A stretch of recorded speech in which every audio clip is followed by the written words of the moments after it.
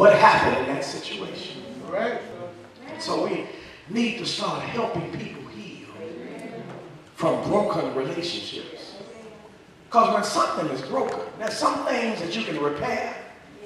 And, and those of you who have, have come to me for help know, I, baby, we, we got some tools. Uh-huh. It ain't no good up under the hood of a car.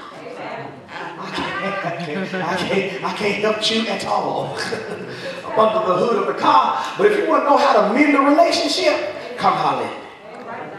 I got some tools for you. Right. We'll patch that thing up. We will put it back together. We will put them nuts and bolts in place and we can screw it together so that that thing will be better than ever. Right. If that's the way you want it now. But then there's some things. There's some things, even I realize, that can't be repaired. Right. When it's broke, it's broke. And the reason why it broke to that degree is because perhaps it was never put together right in the first place. Right. Y'all remember that? Mm-hmm. Unless the Lord Yes, sir. builds the house, they labor in vain that build. Sometime the Lord didn't build that house. I went out and laid my own foundation. Went out there pouring my own concrete. Right now. The worst thing I could have done, Sister Shelby, was put my hand on the concrete bag and call myself gonna mix it together. I laid that shaky foundation. And just as sure as I built a house upon something that God never intended to be built on it, that house failed. Uh-huh. I couldn't fix it. That's right. You can't, when, when it's broke, it's broke. But when you let the Lord build it, the Lord help you put it back together. Yes. That's right. But see, some of us are privileged to have that, but the Lord put it together. And the Lord kept it together. And then there are those where you just couldn't put the pieces back together again. Come on in the room, huh? Okay. You sat on the wall. Just like Humpty. Your relationship had a great fall. All of your family, all of your friends couldn't put you and Humpty back together again. Because you built it on the wrong foundation. So we're trying to help you this morning. We ain't here to judge, we're trying to help you. We don't need the judging to God. We just want you to get it together while you're here.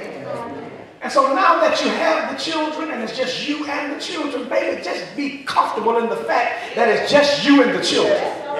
Because what, what we've seen happen, and we've tried to, in the, through the narrow lane, we've tried to help our young ladies who made a mistake. You follow me? Who made a mistake? The, the, the, the baby is not the sin. The sin was what you were doing to conceive the child. Fornication is the sin. The baby is a result of that sinful union. So we try to help them see, okay, right, you made a mistake, repent of that, and don't do it again. Take your time and raise that child and be to that child what that child needs you to be and teach them about God. That way you don't come up the next year Right. with another. Good enough. Then the year after that, what another? Say that. Year after that, what another? Year after that, you got triplets. Come on in the room. Now you want everybody to rally around you and help you because you can't help yourself. Right. But you see, God indicated through the book of Proverbs that because I have called. And you refuse to answer, Yeah. because I've stretched out to you Yes, sir. you would not regard me. Mm-hmm. I will laugh in the day when your calamity comes. He said, You're going to seek me and you're going to be able to find me because you turned away from me during one of the most critical times in your life. So we try to help. And we want to help. But if you're going to continue to do the same thing, then you're going to get to a point beyond our ability to help you. So why don't you learn right now? It's just me and my baby. All right. That, baby is your significant other. You know what I'm saying? Stay off the online dating sites. Get off of that. Uh-huh. Cancel your subscription if you don't need one. Amen. Quit looking for somebody. You got somebody.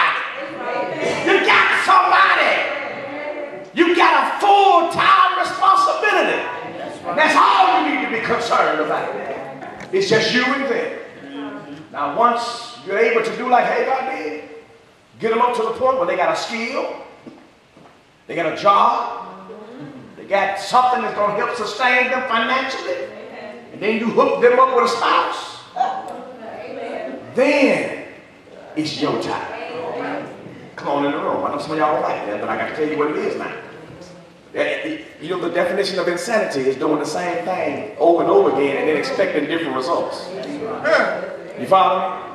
Only someone who ain't in their right mind would walk up to a locked door, turn it, discover that it's locked, and then won't open, and then stand there and just keep turning.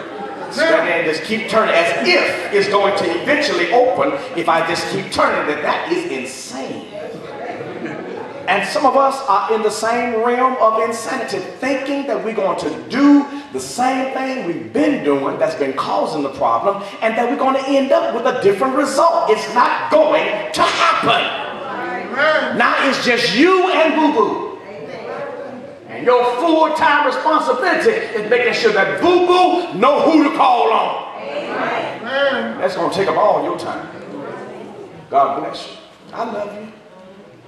I love you. That's the reason why we have our singles support group tomorrow night at 6 and single parenting tomorrow night at 7.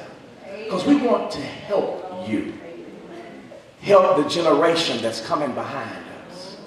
We got to change the world's view of what's acceptable to our children. And show them that they are loved. Some of these children act the way they do because your attention is going somewhere else. Right. That's all it is. Right. That child is acting out. That child is acting up because they want the most important thing to them in life, which is your attention. That's all they want you to do is just spend some time with them. Instead of you running behind Reggie and instead of you running behind Regina, just spend some time with them. That's all they want. And the more you run behind Regina and the more you run behind Reggie, the more trouble they get into at school. And then you want to beat the child half to death when all the child wants is for you to sit down, read to them, tell them how much you love them, tell them how beautiful they are, and tell them that they are the most important thing in their life besides God. That's all they need to hear.